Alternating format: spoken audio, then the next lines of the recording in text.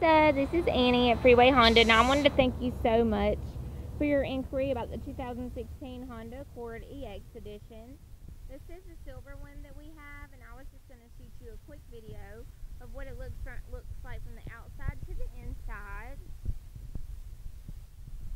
And right here, you're going to have your button on the handle that locks from the outside. Also, if you have your keys nearby in your pocket or in your purse, you can just put your hand here and it automatically opens it.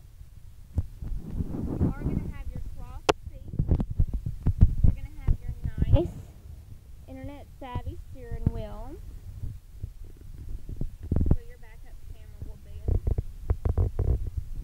And you're going to look up and you're going to have a sunroof. Okay, let me open up the back seat for you.